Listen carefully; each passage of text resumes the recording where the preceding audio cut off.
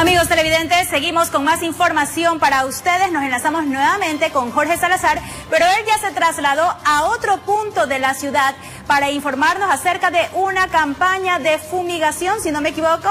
¿Cómo estás, eh, Jorge? ¿Dónde te encuentras exactamente? Hola, ¿qué tal? Buenos días, eh, Roselena y amigos televidentes. Por poco me dice José. José Morales está en, en este momento. Te iba a decir José Luis. Dígame, ¿qué me iba a decir? Te iba a decir José Luis. Ah, la costumbre, claro, la costumbre. Ah, yo no, yo no tengo ese copete, yo no, tengo ese sé. Pero esa rosita roja aquí al lado.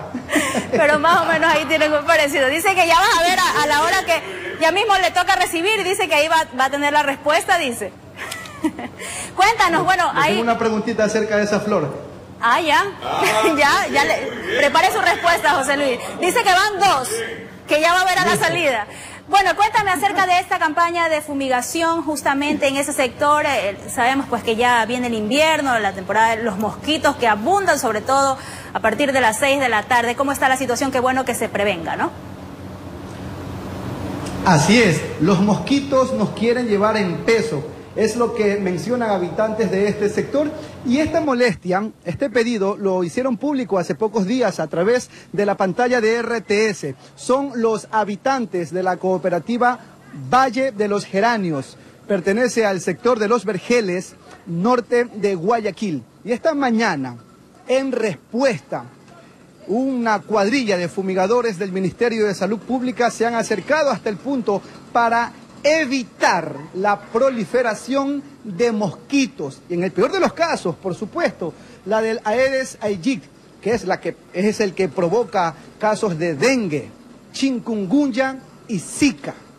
Como vemos, eh, los trabajadores están ingresando a cada uno de los inmuebles para proceder con la respectiva fumigación.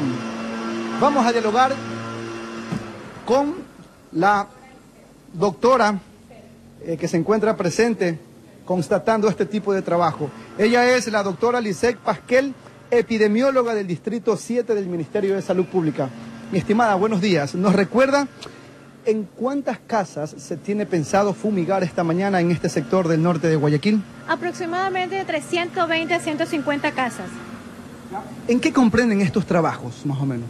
Bueno, es la prevención para eh, evitar que el vector o el mosco que produce las enfermedades de dengue, zika y chikungunya afecte a nuestra población. En este sentido yo le pregunto, mi estimada doctora, eh, ¿en lo que va del año por acá se han registrado de repente casos de dengue, chikungunya o zika? No, en este sector no hemos tenido casos de dengue, ni de zika, ni de chikungunya hasta el momento. Pero habitantes del sector están desesperados y con temor por la presencia de mosquitos. Sería bueno que aclare aquello. Bueno, sí, el mosquito que es de molestia pública es el Culex, eso tú lo vas a encontrar en el campo, en el monte, pero el Aedes, que es el que produce la enfermedad del dengue, lo encuentras dentro de los domicilios porque se, desarrolla en lugares oscuros y húmedos. ¿Solo están fumigando o están realizando otra actividad más esta mañana? Una de las actividades que el, grupo de control de vectores realiza. Tenemos también a los visitadores que son los que ingresan a los domicilios, colocan el abate, destruyen criaderos y sensibilizan a la población con respecto a la enfermedad. Listo, deme un segundo. Voy a llamar a mi camarógrafo para resaltar algo muy importante. Ya, Martín, a Martín.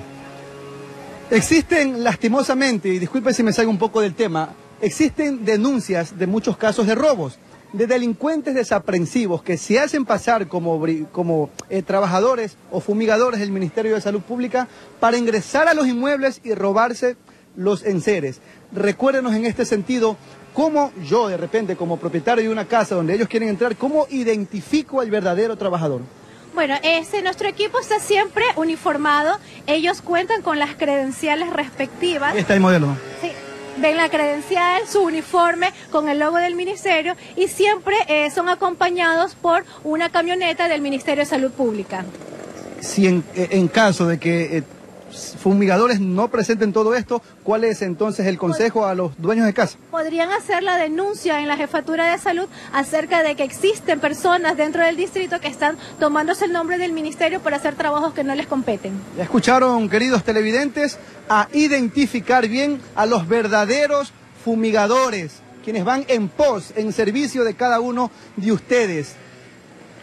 Ya dialogamos, mi estimada doctora. Seguimos entonces acá constatando el trabajo. Son en total cuatro fumigadores quienes están ingresando a los inmuebles y van a abarcar aproximadamente, ya lo dijo la doctora, 150 viviendas.